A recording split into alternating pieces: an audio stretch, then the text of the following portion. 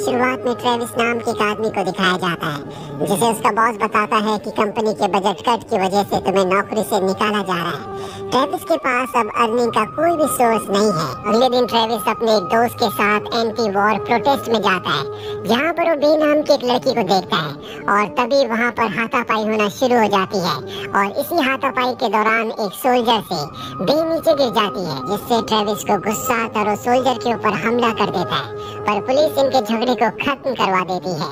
B की और Travis की दोस्ती हो जाती है। ये दोनों के दोनों शाम को एक बार में मिलते हैं। बे बताती है कि जल्दी वो यहाँ से इंडिया चली जाएगी। वो ट्रेविस को भी अपने साथ चलने को कहती है, लेकिन ट्रेविस कहता है कि इस वक्त मैं तुम्हारे साथ नहीं आ सकता। दरअसल उसके पास पैसे नहीं है। उसी रात को न्यूज़पेपर में एक इश्तेहार देखता है, जिसमें लिखा होता है एक्सपेरिमेंट के लिए कुछ लोगों की ज़रूरत है। इसके बदले हर दिन के हज़ार डॉलर्स मिलेंगे, जो कि बहुत बड़ी कीमत है। ट्रेविस तय करता है कि वो भी इस एक्सपेरिमेंट का हिस्सा बनेगा। दिन ट्रेविस उस जगह पहुँच जाता है जहाँ पर उसकी मुलाकात माइकल नाम के एक आदमी से होती है। वो भी यहाँ पर एक्सपेरिमेंट का हिस्सा बनने के लिए आया है। इसके बाद इन सबसे फॉर्म फिल करवाए जाते हैं। और अब इनके सामने वो डॉक्टर आता है जो इस पूरे के पूरे एक्सपेरिमेंट को कंडक्ट कर रहा है। वो बताता है कि तुम सबको जेल के माहौल में रहना होगा। दरअसल हम देखना चाहते हैं कि जेल के माहौल में इंसानों के ऊपर कैसा असर पड़ता है। इसीलिए हमने यहाँ पर उन लोगों को चुना है जो कभी जेल नहीं गए। हालाँकि ये एक्सपेरिमेंट पूरी तरह से सुरक्षित है, लेकिन इसमें कुछ तकलीफ़ हो सकती है। और इसके बाद यहाँ पर जितने भी लोग आए होते हैं, उन सब का इंटरव्यू लिया जाता है, क्योंकि इनमें से 26 लोग चुने जाएँगे। रेविस का भी इंटरव्यू लिया जाता है, जिसमें वो बताता है कि उसने कभी लड़ाई झगड़ा नहीं किया। यहाँ पर जितने भी लोग होते हैं, उन्हें अजीब अजीब से वीडियोस दिखाए जाते हैं। और अब इंटरव्यू के बाद ट्रेविस एक बार फिर से बे से मिलने के लिए जाता है। ये दोनों के दोनों एक दूसरे को पसंद करते हैं। ट्रेविस बे से कहता है कि एक बार एक्सपेरिमेंट खत्म हो जाए। इसके बाद वो भी इंडिया आएगा। और अब ट्रेविस अपना सामान लेकर एक बस में बैठ जाता है, जिसमें छब्बीस लोग होते हैं, जिन्हें एक्सपेरिमेंट के लिए चुना गया है। और अब ये छब्बीस के छब्बीस शहर से दूर एक जेल में पहुँच जाते हैं, जहाँ पर ड्राइवर इन्हें बिना सामान के अंदर जाने के लिए कहता है। अंदर डॉक्टर इनका इंतज़ार कर रहा होता है। वो इन सबको एक आखिरी मौका देता है कि ये यहाँ से वापस जा सकते हैं, लेकिन कोई भी वापस नहीं जाता। सब के सब एक्सपेरिमेंट का हिस्सा बनना चाहते हैं, क्योंकि हर रोज के इन्हें अच्छे खासे पैसे मिलेंगे। इन छब्बीस में से छह को सिक्योरिटी का हिस्सा बना दिया जाता है। जिनका काम ये है कि जेल से कोई भी चीज़ बाहर नहीं जाएगी और ना ही बाहर की कोई चीज़ अंदर आएगी। साथ ही डॉक्टर इन्हें यहाँ पर पाँच रूल्स बताते हैं जिन्हें इन्हें फॉलो करना होगा। सबसे पहला रूल होता है कि सब के सब अपने ही एरिया में रहेंगे। एक दिन में सिर्फ़ तीस मिनट के लिए बाहर आ सकते हैं।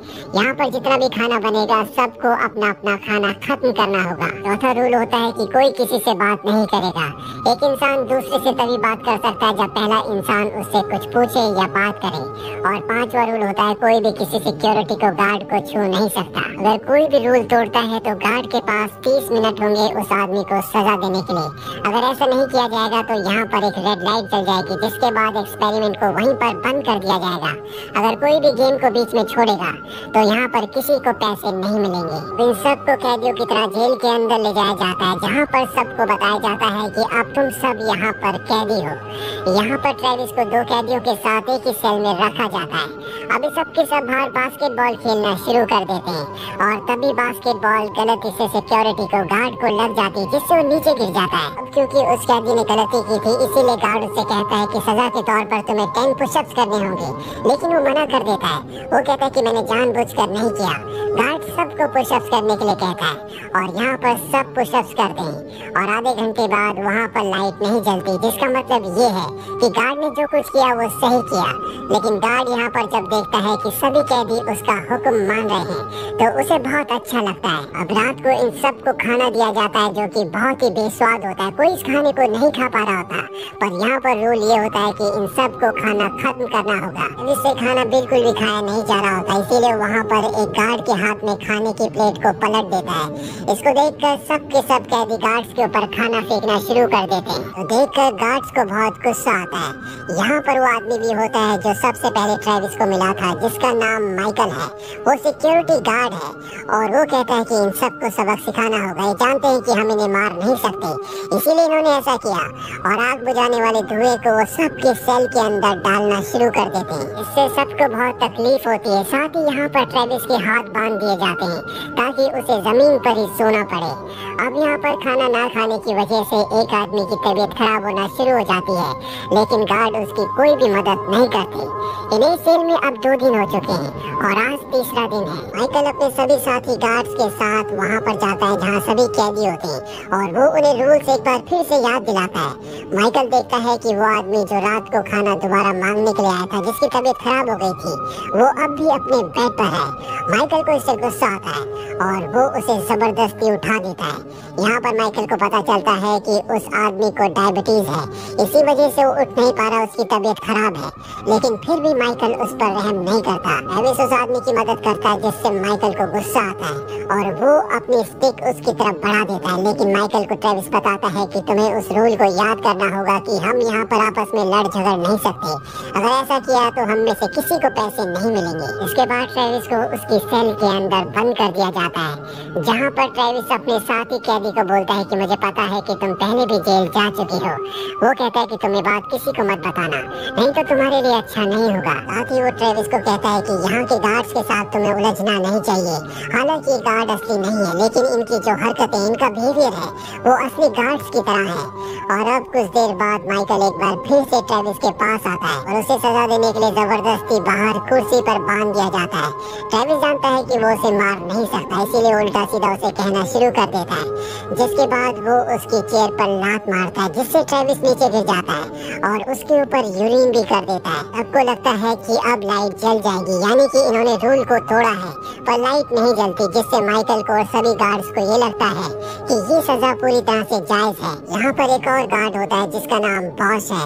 और वो सबसे कहता है कि आज के बाद किसी ने किसी को इस तरह की सजा दी तो वो एक्सपेरिमेंट छोड़कर चला जाएगा, जिसके बाद किसी को कुछ भी पैसे नहीं मिलेंगे। वही ट्रेविस को दिखाया जाता है कि जब वो खाना खा रहा होता है तो वो एक ब्रेड अपने पास बचा लेता है, क्योंकि जिस आदमी को डायबिटीज़ है, जो बीमार है, उसे खाने की ज़रूरत है। और ट्रेविस उस ब्रेड को उस आदमी के पास ले जाता है। वो आदमी कहता है की मुझे ब्रेड की नहीं, बल्कि मेरी दवाइयों की ज़रूरत है। इंटरव्यू के वक्त मैंने झूठ कहा था कि मुझे कोई बीमारी नहीं है, क्योंकि मैं इस एक्सपेरिमेंट का हिस्सा बनना चाहता था।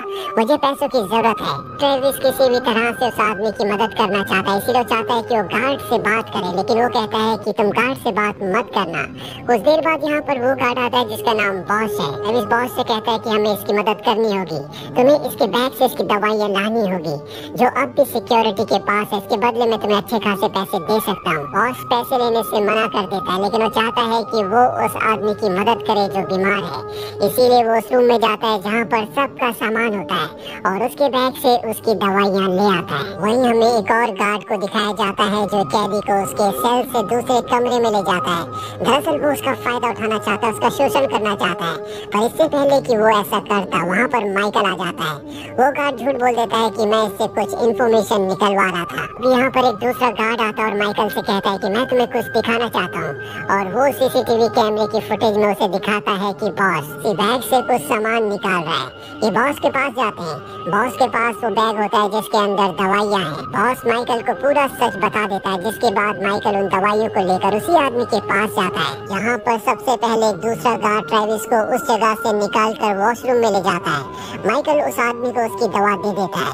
और अब वो वॉशरूम में आता है, जहाँ पर ट्रेविस है। ट्रेविस माइकल को उल्टा सीधा कहना शुरू कर देता है, जिसके बाद माइकल को गुस्सा आ जाता है। ट्रेविस का मुँह कमोड के अंदर डाल देता है। हालाँकि शुरू में वो उसका विरोध करता है, लेकिन जल्दी उसकी हिम्मत पूरी तरह से टूट जाती है। इसके बाद वो वापस अपने सेल में आता और फूट फूट कर रोना शुरू कर देता है, क्योंकि उसने इतनी जिल्लत कभी नहीं सही थी। वहीं बॉस को दिखाया जाता है जो अपने कमरे में होता है, और तभी उसके साथ के जो गार्ड होते हैं, उसके मुँह पर कपड़ा डालकर उसे अपने साथ ले जाते हैं और बहुत बुरी तरह से मारते हैं।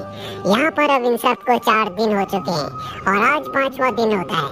माइकल सभी कैदियों को सामने बुलाता है और उन्हें कहता है कि आज से तुम्हारे साथ एक और कैदी रहेगा। और ये कैदी होता है बॉस, जिसे बहुत बुरी तरह से मारा हुआ होता है। वो बताता है कि इसने रूल्स तोड़े हैं, इसीलिए अब ये भी कैदी है। ये सुनकर ट्रेविस अपनी शर्ट उतार देता है और इसके बाद बाकी सभी कैदी भी अपनी शर्ट उतारने लगते हैं। इसके बाद माइकल ऊपर चढ़कर कैमरे के आगे ज़ोर ज़ोर से चिल्लाना शुरू कर देता है कि हमें यहाँ से बाहर निकालो। इस बात से माइकल को गुस्सा आता है वो उसे नीचे गिरा देता है और अपने स्टिक उसकी गर्दन पर लगा देता है। रेविस का उस सेलमेट जिसे डायबिटीज़ है, जो अब पूरी तरह से ठीक हो चुका है माइकल के ऊपर पीछे से हमला कर देता है, जिससे माइकल को बहुत गुस्सा आता है और वो अपने स्टिक से उसके सिर पर प्रहार करता है, जिससे वो जख्मी हो जाता है। और अब माइकल सभी कैदियों को उनके सेल के अंदर बंद कर देता है। लेकिन ट्रेविस को एक दूसरे पाइप के अंदर अकेला बंद कर दिया जाता है, क्योंकि उसने सभी कैदियों को भड़काया था। माइकल के साथ जो गार्ड होता है, उसे भी माइकल की तानाशाही बिल्कुल अच्छी नहीं लगती। इसीलिए कैमरे के सामने जाता और कहता है कि हमें यहाँ से बाहर निकलना है। दरअसल अब तक यहाँ पर रेड लाइट नहीं चली, जिसका मतलब माइकल ये निकालता है कि वो जो कुछ कर रहा है, वो बिल्कुल सही कर रहा है। पाँच दिन बीत जाते हैं। छठे दिन दिखाया जाता है कि वो गार्ड जो कैदी के साथ ज़बरदस्ती शोषण करना चाहता था, एक बार फिर से उसे कमरे में ले जाता है और उसका फ़ायदा उठाने की कोशिश करता है। वहीं ट्रेविस जो पिछले 12 घंटों से पाइप के अंदर बंद है, वो अपने ब्रेसलेट से किसी तरह से पाइप का दरवाज़ा खोलकर बाहर आ जाता है और तभी उसे उस कैदी की चीख की आवाज़ सुनाई देती है, जिसे गार्ड उसका फ़ायदा उठाने के लिए कमरे में ले गया ट्रेविस भी उस कमरे में पहुँच जाता है, जहाँ पर वो गार्ड के ऊपर हमला कर देता है और उस कैदी के साथ मिलकर गार्ड को बहुत बुरी तरह से मारता है। गार्ड बेहोश हो जाता है और अब ट्रेविस उस कैदी के साथ मिलकर गार्ड की चाबियाँ लेकर सभी कैदियों को आज़ाद कर देता है और जब वो अपने सेल में जाता है तो उसका वो सेलमेट, जिसके सिर पर स्टिक से हमला किया गया था, उसकी मृत्यु हो चुकी है। और अब यहाँ पर जितने भी कैदी होते हैं वो सब के सब विद्रोह कर चुके हैं। इसीलिए गार्ड से बदला लेना चाहते हैं, वो उनका पीछा करना शुरू कर देते हैं। गार्ड यहाँ से बाहर निकलने की कोशिश करते हैं, लेकिन दरवाजे नहीं खुलते, क्योंकि दरवाजे बाहर से बंद है। वहीं ट्रेविस और माइकल का आमना सामना होता है। माइकल उसके ऊपर हमला करता है, लेकिन ट्रेविस उसके हमले को रोककर उसे कई सारे पंचेस मारता है। ट्रेविस जो कभी किसी को नहीं मारता था, जो पूरी तरह से शांत था, आज पहली बार उसने किसी के ऊपर हाथ उठाया है। और तभी यहाँ पर लाइट जल जाती है, जिसके बाद ये सब के सब बाहर आ जाते हैं। इसके बाद वही बस आती है जो बस इन्हें यहाँ पर लेकर आई थी, और इन सबको अब वापस इनके घर छोड़ने के लिए ले जाया जाता है। और जब ये रास्ते में होते तो देखते हैं कि इन सब के पास एक एक चेक है, जिस पर अच्छी खासी रकम लिखी हुई है। वे सब के सब अपने अपने घर चले जाते हैं, जिसके बाद अगले दिन न्यूज़ में दिखाया जाता है कि जिस डॉक्टर ने ये एक्सपेरिमेंट शुरू किया था, उसे पुलिस ने पकड़ लिया, उसके खिलाफ मुकदमा किया जाएगा, क्योंकि उसकी वजह से जेल में एक आदमी की मृत्यु हुई थी। वही ट्रेविस को दिखाया जाता है जो अब इंडिया पहुँच जाता है। जैसा कि उसने बे से जो उसकी गर्लफ्रेंड है, उससे वादा किया था। दरअसल पूरा का पूरा टेस्ट ह्यूमन की साइकोलॉजी को टेस्ट करने के लिए किया गया था कि किस तरह से ह्यूमन की साइकोलॉजी काम करती है। किस तरह से आम वो छह इंसान जिन्हें कार्ड्स बनाया गया था, उनमें से अधिकतर जब उन्हें पावर दी गई तो उन्होंने उसका गलत इस्तेमाल किया। साथ ही कैदी, जो कि असली के कैदी नहीं थे जब उनके ऊपर जुल्म हुआ, उनके खिलाफ बात हुई तो उन्होंने भी विद्रोह कर दिया। तो ये थी पूरी कहानी फ़िल्म द एक्सपेरिमेंट।